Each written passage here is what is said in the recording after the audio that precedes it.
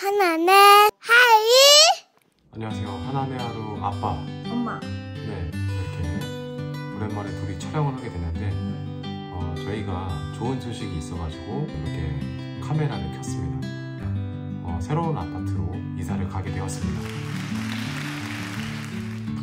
그 전에는 정말 부동산에 대해서 전혀 알지 못했었습니다. 아파트라는 것도 어떻게 들어가야 되는지 그런 것도 몰랐을 때 그냥 부동산에 가면 집을 찾아주겠지 라는 간단한 생각만 가지고 집 주변에 있는 어, 부동산을 찾아가서 어, 좀 가격에 맞춰서 집을 살 수 있는 곳이 어디냐고 물어봤더니 어, 빌라를 처음에 소개를 해줘서 어, 빌라부터 좀 돌아보게 되었었습니다. 어, 결혼식하고 또 이제 집도 알아보고 이제 정신이 없어서 집도 그렇게 잘 자세히 알아보지 못하고 계약을 했었는데 2017년 8월인가 9월에 그때 이제 이사를 갔죠. 가서 어, 한달 만에 문제점을 하나씩 발견하게 됩니다. 곰팡이가 막 벽을 타고서 하나가 굉장히 어렸을 텐데 그 하나의 침대까지 곰팡이가 올라와서 정말 그때는 많이 힘들었거든요. 그 집이 방향이 북향이어서 햇볕도 어, 들어오지 않았던 그런 집이었기 때문에 습기도 굉장히 많았었습니다.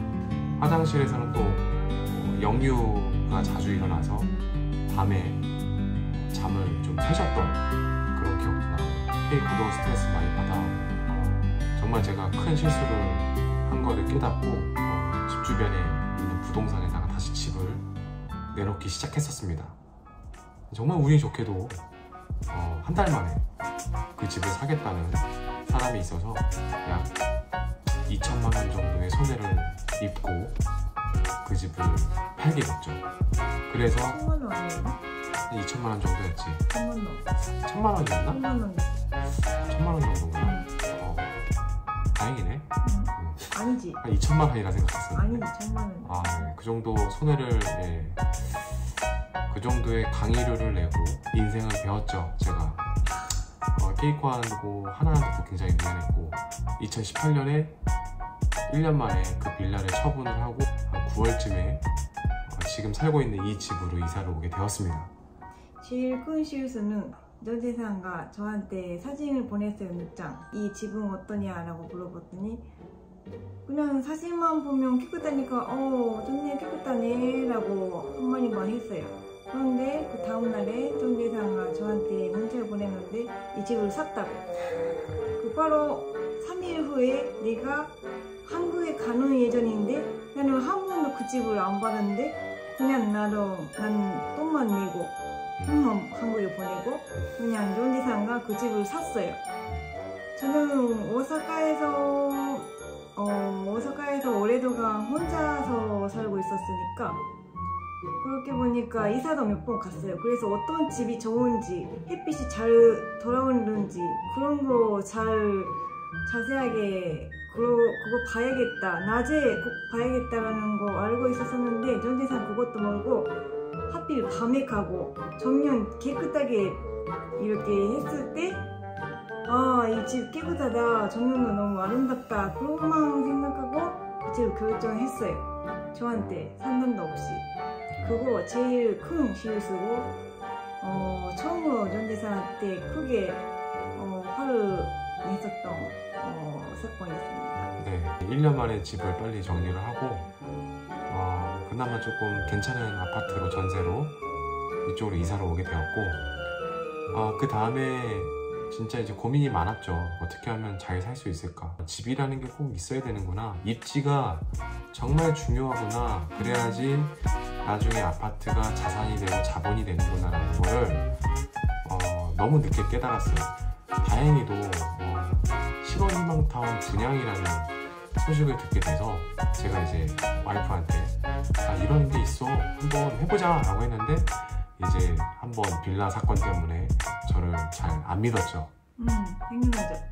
큰 집으로 이사 갈 수 있는 어떤 단계이다 라고 그때 설명을 했는데 잘 못 믿더라고요 보다가 어, 좀 이제 집 주변에 있는 어, 일본인 친구분도 있었고 그리고 또 한국인 친구분이 다 이제 얘기를 해줬죠. 아 거기 잘된 거라고.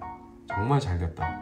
그거는 정말 기회다 이래가지고 케이코도 생각이 많이 바뀌었고 그 집에 들어가는 거를 조금 많이 기대하고 있습니다. 저도 그렇고요. 저희가 신호희망타운에 들어갈 수 있었던 거는 일단 이 지역에 이 시, 도에 어, 3년 이상 거주를 계속 했었기 때문에 3점을 얻었고 그리고 아이가 둘이 있었기 때문에 2점 무주택 기간이 어, 1년 이상 3년 미만이었기 때문에 2점 그러니까 빌라에서 전세로 이사 오고 나서 청약을 넣기 시작했어요. 신혼희망 타운 같은 경우에는 24회 저축을 하면은 만점이 3점인데 저는 24회도 못 채웠거든요. 한 22회. 그래서 2점 총 9점이라는 점수를 가지고 어, 청약을 넣었어요. 근데 진짜 운 좋게도 된 거죠. 이게 왜 됐냐 라고 생각을 해보면 하루 때문에 집 당첨이 됐다. 이렇게 생각이 듭니다. 왜냐면 17년도에 하나가 태어났고 19년도에 하나, 하루가 태어났거든요. 그때 아이가 둘이 될 수 있었어요. 청약 같은 경우에는 1점 차이라도 어, 학- 집이 청약이 되냐 안 되냐 이게 굉장히 크잖아요. 그래서 하루 때문에 청약이 됐다. 이렇게 볼 수가 있죠. 하루한테는 잘해줘야 돼. 그리고 또 하나한테도 물론 잘해줘야 돼요. 음. 왜냐면 하나는 우리 유튜브의 어떤 시작점이 음. 되었고 하루는 우리가 앞으로 어, 살아갈 집을 어, 만들어준 거나 마찬가지예요. 그래서 저희는 하나하루한테 진짜 평생 빚을 진 겁니다 음. 국제부부이신 분들은 어, 이런 부분들을 잘 숙지를 해서 꼭 저희처럼은 아니더라도 더 좋은 아파트 어, 더 좋은 집 이런 쪽으로 이사를 가셔서 꼭 내 집 마련에 성공하셨으면 좋겠습니다 음. 그 아파트 그거는 음. 그 아파트마다 조건 다르지. 아트, 아파트마다 조건이 다른데 신호희망타운 같은 경우에는 우리가 진짜 일반 브랜드 아파트에 들어가려면 진짜 점수가 안 돼. 그런데 신호희망 타운이다 보니까 점수가 되는 거였어요. 신혼만 타운은 나라가 하고 있는 거예요. 그렇죠. 나라가 어, 신혼인 사람들 그리고 한부모 가족분 그리고 아직 결혼을 안 했지만 예비 신혼 부부분들이 들어갈 수 있는 아파트예요. 단점이 있어요. 단점은 뭐냐면 55제곱미터, 24평. 아. 지금 우리가 살고 있는 이 구조랑 크기랑 거의 똑같아. 음. 근데 아이들은 계속 크잖아. 그러다 보니까 집이 어, 시간이 지날수록 작게 느껴질 수 있다는 거. 모기지라는 것을 해야 되는데 음. 모기지는 나라에다가 나중에 내가 이 집을 팔았을 때 그 차익, 그 돈을 줘야 되는 거예요. 근데 조건이 조금씩 달라.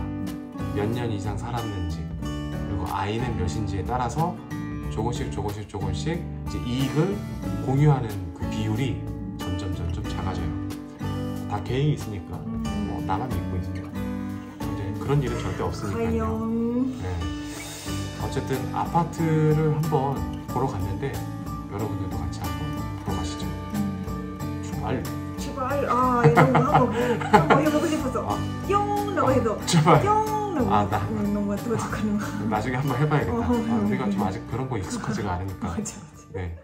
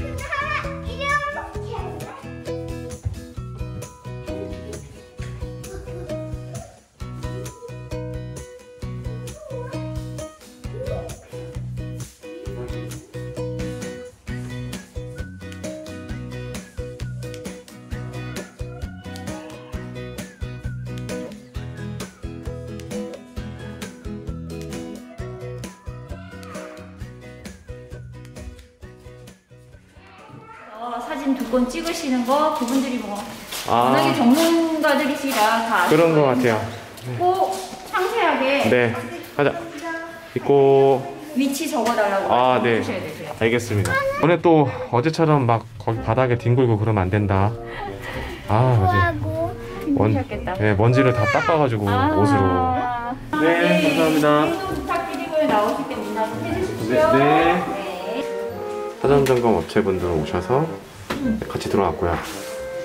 이제 구석구석 하자가 있는지 없는지 확인을 한번 해보도록 하겠습니다.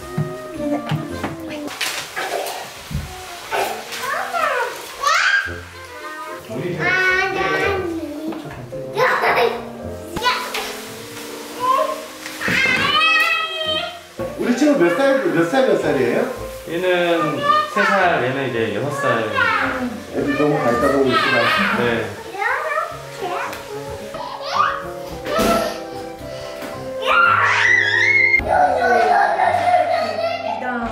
네. 얘, 어, 하나야, 찍어도 이리 와, 이리 와, 이리 와. 하나, 하루, 이쪽으로 와. 하루야.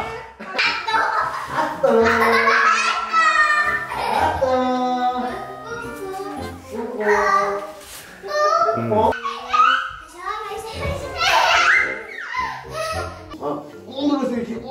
해야지. 자, 이렇게 보시면은 우리 친구 아. 손가락이 네네네.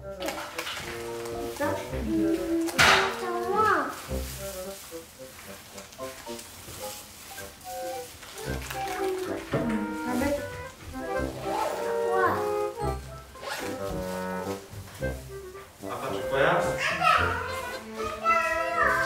근데 왜 자랑해? 이렇게 하면 또 꺼져. 와 진짜? 이렇게 누르면 또 나가고. 여기 눌러도. 여기 여기 해도.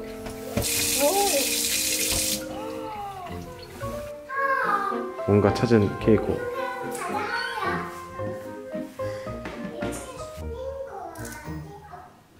자기도 거기 사진 찍어놔요.